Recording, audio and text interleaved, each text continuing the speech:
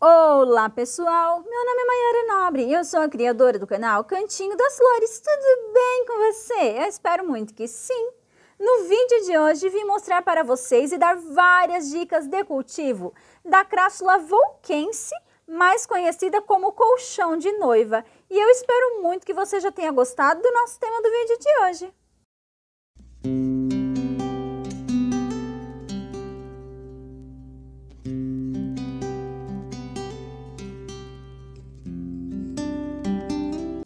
Bom, pessoal, o nome científico desta suculenta é Crassula volquense, mas é conhecida popularmente como colchão de noiva e ela é uma crassula maravilhosa que tem um potencial aí muito grande para estar enchendo um vaso todo. Porém, essa crassula é uma crassula bastante sensível. Essa crássula, pessoal, ela não gosta do substrato encharcado por um período muito prolongado. Ela não gosta de um substrato muito encharcado. Então, ela gosta de um substrato que seja muito bem drenável mesmo. Porque senão você perde totalmente essa crássula, pois ele é muito sensível a substratos muito encharcados, principalmente por um período muito prolongado, pessoal. Então faça aí um substrato que seja bem drenável para essa suculenta, para o cultivo desta suculenta. Fazendo uma mistura aí de 50% terra vegetal, 50% areia grossa, areia para construção. Você pode também estar adicionando carvão triturado e muito bem triturado. Você pode estar adicionando também aí uma colherzinha de sobremesa de pó de café já utilizado e sem açúcar e também uma colherzinha de sobremesa da nossa casca de ovos triturados no liquidificador. Bom, pessoal, não reparem o barulho, mas é porque está trovejando, está com o tempo bem fechado aqui na minha região e vai chover daqui a pouco. Uma característica bastante interessante sobre essa suculenta, pessoal, é que quanto mais sol pleno você der para ela, mais avermelhada, mais cheias de manchinhas avermelhadas vão ficando as suas folhas, como vocês podem perceber aqui, ó, tá vendo?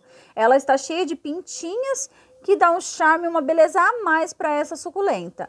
Só que evite estar expondo ela no sol pleno de alta intensidade, pois pode prejudicar as suas folhagens, causando várias queimaduras. Então, o sol pleno indicado para ela para o cultivo dela é um sol pleno de média intensidade. A minha perdeu um pouco da coloração devido ao tempo de chuva, devido ao tempo nublado, mas eu creio que logo logo ela vai se recuperar e vai voltar a ficar colorida assim que o sol começar a raiar novamente.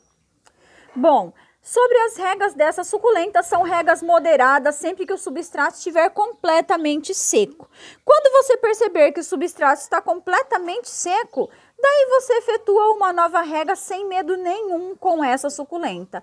Evite apenas estar deixando ela exposta a tempo de chuva, pois ela não suporta o substrato muito encharcado, ela não suporta ficar pegando muita chuva sobre ela, pois ela mela mesmo as suas folhas. Ela é uma crássula muito bonita, é uma suculenta muito bonita, e como eu já disse, ela tem um potencial muito grande para estar deixando o seu vaso bem cheio e bem bonito de crássulas. Já sobre novas mudas da nossa crássula volquense, colchão de noiva, é sobre estarquia. Você pode estar destacando qualquer galinho que ele pega facilmente, você pode estar plantando já logo em seguida que você não vai ter dificuldade nenhuma aí para estar fazendo novas mudas. Novas mudas através dos galinhos. Foi assim que eu consegui encher esse vasinho todo. Quando eu comprei ela, ela era uma mudinha bem pequenininha. E hoje já está com um vasinho todo cheio. E olha que gracinha, que fofura que está o nosso vasinho de crássula volquense colchão de noiva. Bom, pessoal, eu espero muito que você tenha gostado do nosso vídeo de hoje. E se você gostou, já aproveita neste momento e deixe seu like para mim aqui no vídeo, pois ele é muito importante para o crescimento e desenvolvimento do nosso canal. Aproveita também e já compartilha esse vídeo com outras pessoas que também gostem de cultivar suculentas e plantas assim como você e eu. Você está nos visitando hoje ainda não é inscrito aqui no canal? Já aproveite e se inscreva e ative o sininho para receber as notificações. Até o próximo vídeo e tchau, tchau!